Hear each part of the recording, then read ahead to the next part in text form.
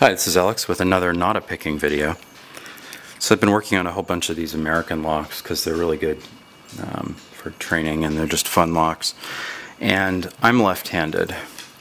Um, and so, you know, woohoo, he's left-handed. Who cares? Um, let me just give you an example of why this might be interesting. Uh, this is not a proper Peterson pry bar, but you end up um, you can't use your index finger. You end up with your your thumb on there, kind of doing this, and you're essentially pressing up. the the the the vector is kind of up, and I mean even with the the better one, which I can't find at the moment, um, it tends to fly out when I'm picking. And I don't like that because then I lose my set and I have to start again and I curse and all sorts of things. So I've got a new tensor that I've used a couple times and it seems to work pretty well. I'm not going to pick this on video right now. It's this particular lock I have not picked up and um, it's kind of grungy and I don't know, it's hard. But let me just show you what I did. So, zooming back in. And I'm going to try to get in real tight on this if I can. So this is a piece of, I think, eighth inch music wire, okay, that I did a little bit of forging on and a whole bunch of filing. And I I was sort of inspired by uh, Kokomo's video on, on making music wire tensors. But one novel thing I did, or I don't know if it's novel, but it's novel for me, is that I cut, where's my pointer? And it's going to be a little hard to see, and I apologize for camera work as always, but I cut a little shelf here on the top as well as the sides and then this center bit is sized perfectly for the American Keyway and then you can see there's kind of a really wacky shape to it and you'll see why that's interesting in a moment. So it's got a, zooming back out and getting rid of the magnet, um, it's got kind of a, a curve here, curve there. I bent this and this using heat. I'm heating it up to red hot and, and then um, bending it. Um, and then you can see that I reheat treated it. You can see the color on there and I brought it to a, a blue color all the way to the end, which is sort of a spring temper that should be pretty tough for uh, for the type of work it's going to be doing. So for me, I stick this in, okay, and huh, completely obstructs the keyway. Did I get that right? No. Huh. That's better. Head backwards. For me, I'll edit, have to edit that out, or not. Just show you that I'm a goofball. But for me, that works pretty well. You can see that that is seated pretty firmly in there. And you'll also notice I'm pressing it in this direction, which is tending to push the wrench back up into the keyway rather than down or in some other direction. And now I can get in here and pick and not have to worry as much about the um, the wrench going flying in all directions when I'm you know one pin away from nirvana. Um, maybe I will attempt to pick this, um, but not with this pick. Um, it's also very comfortable. I put a little bit of knurling. I don't know if you can see it. Um, and I'm not a master knurler, but there's the dog. Excuse the noise. Just used a little triangle file and just cut some marks uh, perpendicular here and then a couple of diagonals just to give it a little bit more grip right there. And uh, so, let's see. Maybe we can pick this open. I haven't ever picked this lock open, but maybe my new tensor and the support of everyone watching will. Um, the other thing is, I notice that I don't have to apply, I actually don't have to apply hardly any tension, just kind of have to keep it from falling over. right? So in with the even with the Petersons, if I kind of really let go, um, they will often tend to. I got to listen for the clicks. They will tend to want to fall out, and so I end up having to apply a lot more tension than really I should uh, for particularly for for Americans. So this is sized for this particular American Keyway. I used this one as a gauge when I was um, cutting this. So you may have to, um, you know, I may have to make a few more. Um, music wire I got at a hobby shop locally. I like to buy stuff like this from little stores if I can because they're they have trouble staying in business. But that said, you can also buy it off of Amazon or eBay or uh, any probably any metalworking supply shop. You just want to make sure that what you get is steel, um, carbon steel. Um, and the other thing I would note is that this stuff, at least the, the particular product that I got, was really, really hard when I got it. As in, it ate my hacksaw blade um, cutting through it. I should have probably used the Dremel, but I was in the vise and I was in a hand tool mode. Um, so when you are going to work it, I strongly recommend annealing it. And uh, you can look at my heat treating video for annealing, um, a demo of that on a smaller piece of metal. But basically, you heat the thing up to the um, critical temperature, which is usually somewhere between a cherry red and kind of a little brighter red. And that's the, um, I believe the for that the temperature is um, right about when it goes non-magnetic. So another good time to have a magnet on hand.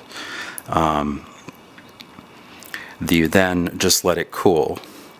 Um, for this, I had it on a little ceramic plate um, that I bought. It's they call it a soldering plate or something like that. Um, but it's a refractory ceramic material. Um, it's also nice because it helps hold some of the heat when you're heating it up, so you use less gas. Um, but I just left it on there and let it sit for 15 minutes or whatever until it was what they call hand cool, which hand warm rather, which means it's not going to burn you when you pick it up. Um, and then I um, I worked it um, and uh, and then hardened it um, and uh, and uh, tempered it. So and then while you watch me fail to pick this lock, the last little remark is when you are going to harden the metal, which is where you take it up again past the critical temperature where it loses its magnetism or where it'll no longer stick to a magnet or attract a magnet. Um,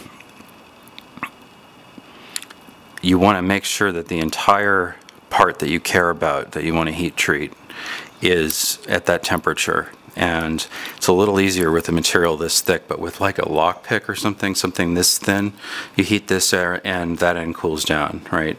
The whole thing. So I set it down on a um, on that ceramic plate.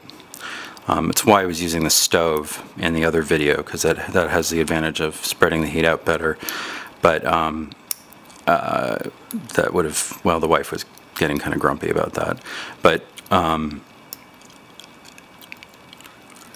so I heat it on that plate, and what I do is I set the plate across a basin of water, like a little bucket, and uh, of, of, cool water or brine, or if you're using oil, whatever. Um, and then, just as the whole thing is at the temperature that I want, I just basically shove it in there. I just knock it off the edge into the water, um, and uh, it'll uh, it's you don't have quite as much control of trying to get it to the steam to move away, and but it uh, compared to just getting differential heating and having some of the parts not get fully hardened, it seems to work pretty well. Um, and you just leave it in there until it stops sizzling, and you pop it out and do your heat treatment. Um, and then a final tip is when you're doing the heat treatment, when you're doing the, the final tempering, um, you want to be very, very gentle, if especially if you're using a, uh, flame, which is which I was, because I needed to take this up to about what is it, 400, 450C to get it to this, this blue color, um, which is holding up very nicely. Um, I'm sucking at picking this, but this wrench is working awesome. Um, and um, it'll go through that temperature really fast. And if it gets too far, then it softens, and you don't want that. Um, so I, I use a MAPP torch when I'm doing the bending and the, um, the annealing and the hardening because it heats it a lot faster. When I go to do the, um, the tempering, or, um, which is softening it actually from that full glass hard state, I move to a propane torch and just very gently warm the thing. Started an area that I care less about. Watch the color move, right? And then just start sort of moving it around. And then you have to be careful as you reach these, screw this, as you reach the thinner parts because it's obviously there's less mass, metal mass there, and you um, and they will they will heat much faster. And remember, of course, that there's residual heat that will continue to move through the piece. Um, so you just want to, you know, be really gentle, move the heat up until you get the right um, color. The color will go away as it rusts and you know you handle it. But if you could, I don't know how well the color is coming out there, but that's sort of that cobalt blue sort of color. Um, that's a moderate spring tension. I got it to a lighter blue here, which is uh, even um, softened even a little bit more. So it's going to be springier, um, less hard, but less likely to fracture, hopefully. And then you can see the full range of color here, if I can get the continuing. The steel you get from the factory, um, this was a, a, a, full blue temper um, carbon steel, um, kind of like you'd see in a hacksaw blade. Um, you can see it's that color. It's that sort of a similar color to that somewhere in here, right? Um, it still has the oxidation on it. So um, that's kind of what you're shooting for. If you take it too far, it's going to be too soft, at, the, at which point um, you basically have to start again, fully anneal it, reharden it, um, and then heat treat it again. Takes a little practice, but once you get it, then, and that's sort of why I was doing that video before, then you can do stuff like this with a heavier gauge wire. This I'm not strong enough to make a bend like that and make it clean. Um, and um, you know you can even thin the metal down without taking metal away by, by hammering on it, kind of like a blacksmith type of thing. Um, but it allows you to take the heat treatment out so you can machine it with files and things that give you more precision. Or if you have a mill or whatever, you don't want to go in there on, on hardened steel. And then come back and bring the temper back, bring the, the, hardness back so that you can use it as a tool. So very cool. If you have any questions, let me know. Also, that book by um, uh, Tubal Cain um, is uh, highly recommended. Um, and he gives some more sophisticated ways of doing heat treatment if you're making tools, but I don't have any of the fancy uh, kit that he has. So anyhow, um, so the points heat treating, working with metal, very fun. And I think this end on this thing, which I will attempt once more to get a focused shot of, but you can see the, the chamfer or the, the cutout on the side and also on the top. And I suppose if you were right-handed, um, if you were right-handed, you could make sort of the mirror image of this, which I guess would look kind of like that.